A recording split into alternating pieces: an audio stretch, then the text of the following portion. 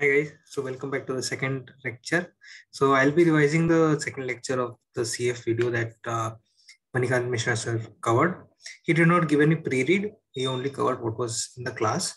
So it's kind of easier, the content was not that much, so it will be a lot shorter video. Um, but before I go into the video, I'll just show you the um, Google Classroom and what you need to basically study. So this is the study material that has been provided by Mansi ma'am. And I think this is a sufficient document to help you revise the entire thing. Uh, a lot of people were confused about like what uh, these two are. So I, I don't think sir has covered this part. At least not yet. He might cover it uh, in the next few classes, but this is what he has been covering. So if you want to revise what sir is showing in class and in class also, I would suggest uh, open this one and sit so that uh, when he is talking about um, anything during the class, you'll generally find whatever he's talking or the slides that he's showing, you'll find it in this one. So this is important. This he hasn't yet started. Other than that, uh, there's nothing else. Right. Uh, so let's now switch over to uh, my summary notes and uh, we'll quickly get revising um, the second lecture okay so i hope everyone has seen the first lecture and uh, if you've seen that it's not that much of a difference um, it's just a continuation from there so in the last lecture uh, what we were doing was basically uh, we got two stocks return so stock a and stock b uh, none of them have a stochastic dominance. So in the last lecture, I was uh, telling you what stochastic dominance is. Stochastic dominance is when in all cases, there is a one-sided dominance for each stock. So for example, if this has been 2018 6, so in that case, 20 is greater than 17, 18 would be greater than 16, and 6 would be greater than 3. So that means that there's a stochastic dominance in A, and um, A is always having a greater, bigger return than B. So there's a dominant return on A. So we would always have chosen A. Now, in this case, there's no stochastic dominance. So we have to choose that return um, so firstly, there are two things that we choose. One is either uh, if there are two stocks with the same uh, return, same mean return, we will choose that stock which has the lowest variance. And if there are the stocks with the same variance, then we'll choose the one with the higher return.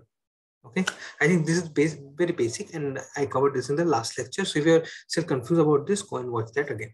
Okay, um, this was the example that we continued from the last lecture.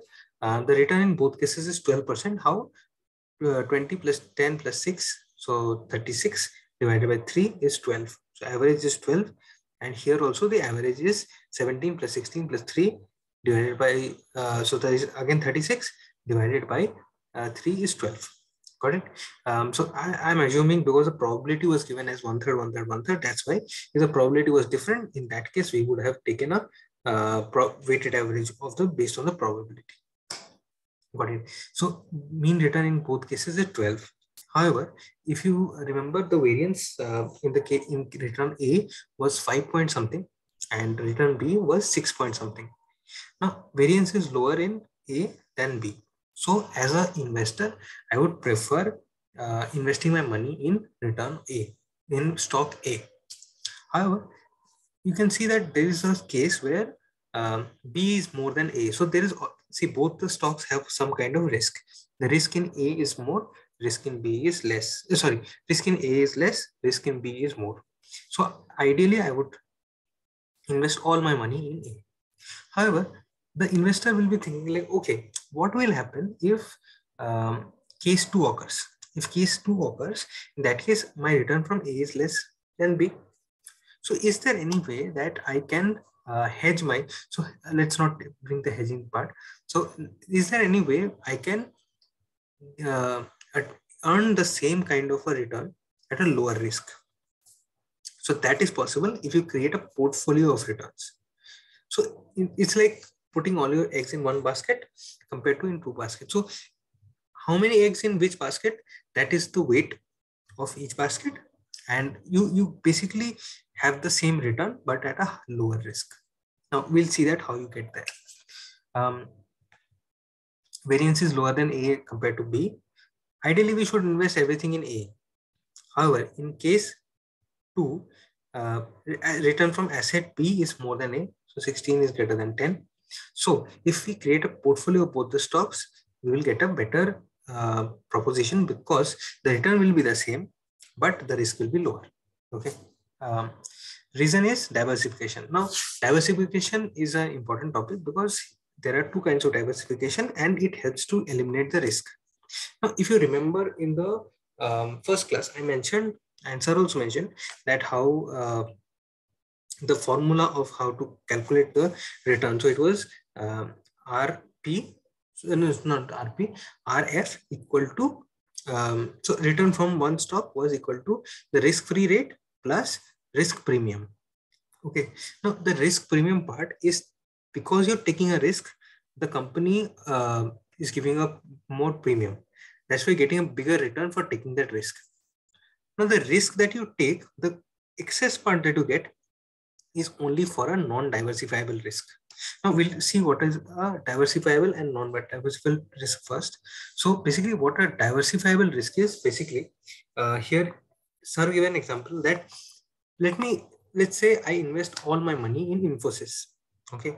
There is a, there is a possibility that Infosys uh, might not do well, but Satyam does well or uh, TCS does well or better than Infosys. So instead of putting all my money in Infosys, I put it in Infosys, Satyam, TCS, a portfolio. Like I divide my money.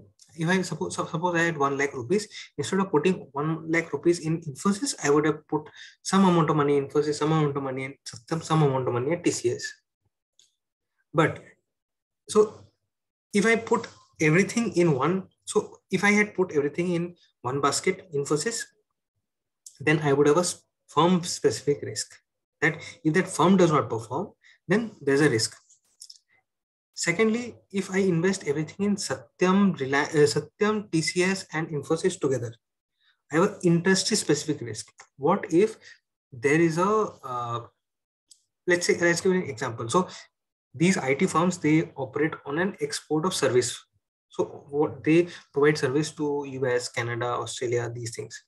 Now, what, what happens if the price, the, like the Indian currency gets devalued or something happens to the Indian, let's, let's say the rupee declines. So in that case, the entire industry will get a shock and all the shares will fall. So this is, if I invest only in IT industry, uh, I have a industry specific risk that the industry might not do well. Okay. Now, what I can do is let's say I have an IT industry and I have oil and gas. So oil and gas, most of the, like we import crude from outside. So if I invest my money in say, let's take two, two stocks. One is Infosys, one is Indian Oil. Okay. Now Indian Oil imports oil and uh, like uh, crude. So for, if there is a foreign exchange fluctuation, Infosys will go down. Okay. So in case um, the rupee falls, uh, the price of uh, price of Infosys will go down. But for Indian Oil, it's a positive thing that rupee is falling, so the cost will be lower. So in Indian Oil will go up. So that's how you balance it. Okay. Now, if the rupee goes up, then in, Indian Oil will fall, but Infosys will go up. Got it? So this is how. So this is a basic example with only two industries. One is oil and gas and IT. Um, but you can ideally invest in let's say the automobile sector, um, let's say banking sector, um, oil and gas, BFSI, and like you can invest in a portfolio where all the sectors are there. If I invest in all industries in India, there's a risk that the economy of India goes down. So now, initially, if I was invested in the IT sector, so I had industry specific risk. Now I invest in a in all sectors. So I'm investing in uh, TCS, uh, TCS Satyam, and uh, uh, Infosys. I'm investing there. I'm also investing in Asian Paints. I'm also investing in let's say Indian Oil. I'm also investing in Reliance. I'm always also investing in uh, Aditya Birla. Like I'm investing in all the industries, but I'm investing in India. Now, what happens if there is some kind of a epidemic or some kind of a government change? Suppose, suppose tomorrow there's a change in government and there's a bad change in the government. So thus all the stocks fall. Okay so that is called a country specific risk. That because all the stocks in the, same country there's a risk that the entire country might go down. Maybe there's some foreign attack uh, god forbid but anything can happen. So there's a country specific risk. Now what i can do is i can invest in uh, India, I can invest in Pakistan, I can invest in Bangladesh, Sri Lanka, Australia, Canada, um, US, Mexico, everywhere. So if I do that, then in case there is some kind of, uh, if India goes down, maybe China stocks will go up or the US stocks will go up. So that's how you invest in multiple stocks in different countries. And that that's how you prevent against a world specific risk. Okay. So all these things, so so what sir covered firm specific was only Infosys, industry specific was only the IT industry, and country specific was only investing in Indian stocks. All these three are uh, diversifiable risks. What diversifiable risk means is that if you invest in, uh, if you create a portfolio, you can diversify the risk. So as I was giving you the example of Infosys and Indian Oil, by investing in both, I diversified my risk. Because this has a negative correlation, so I diversified my risk and made, uh, so because I diversified my risk, the risk is getting cut. So it's possible to decrease the risk. Okay, so that is called diversifiable risk. Now, what is world specific risk? Now, anything can happen in the world. So like, let's say there's uh, this pandemic happened. So it affected all countries. So there's nothing we could have done about it because all the countries faced the COVID crisis at the same time. So um, it's non-diversifiable. So non-diversifiable systematic risk. So it's interchangeable. Systematic is uh, non-diversifiable. Okay. Uh, so the risk premium that you get for a stock that is only for the diversifiable, non-diversifiable risk. That because you can't eliminate that risk, I'm giving you a premium. But if it's a diversifiable risk, then it's possible for you to eliminate that risk. So why should I give you a premium for that? Okay. So this is linking back to the earlier formula of what is the return is equal to RF plus R premium. Okay. That is uh, in the last lecture. So I hope the part of diversifiable and non-diversifiable is clear. Okay. Now, sir also gave an example in class where he said that uh, let's say there are two companies. One creates a suntan lotion, and other one makes raincoats. So it's a very different kind of company. So one company thrives when there is a sunny weather, and one company thrives when there's a rainy weather. Now, ideally, if there is a sunny weather, um, suntan will do well. You get twenty percent. Raincoat will do badly. You get four percent. And it's the opposite in case of rainy season. Now, if you make a portfolio of these stocks, so in, if, if I had not made a portfolio, there's a 50% chance that it's sunny and 50% chance it's rainy. Okay. Now the mean is 8%. So how did I get that? It's basically 50% into 20 into 50% into minus 4. If you add them up, it's going to be 16 by 2. So 8. Okay. So the mean is 8 in both cases and the standard deviation is also 8 so what is standard deviation? Standard deviation is deviation from the mean. So the mean is 8 so 8, 20 minus 8 is equal to 12 and 8 minus minus 4 is 12 okay? So that's how you calculate standard deviation. So the mean is 8% the standard deviation is 12% in both cases. Now where should i invest? It looks like a very uh, risky investment because the standard deviation is very high. Okay um, so however if you do the correlation you can see that whenever suntan is falling raincoat is going up. Whenever raincoat is falling suntan is going up. So it's a negatively uh, correlated stock suntan and raincoat. So that's why if you create a portfolio of the stock average on an average even if it's sunny will give you 8% even if it's rainy it will give you 8% so the average is 8% however there's no variation because whatever might happen you'll get uh, a mean of 8 so even if it's slightly rainy you'll get like whatever whatever combination is there you'll get a mean of 8 so there's no standard deviation. So ideally if i have if i had put my money only in suntan lotion it's a risky investment. That by chance if it's a rainy weather then my uh, company will do bad and it's a risk that I'll get a minus 4%.